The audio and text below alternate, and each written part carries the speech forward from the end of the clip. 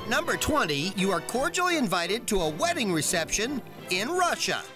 We said vows, we do a father daughter dance. All right, now it's time for bizarre sex games.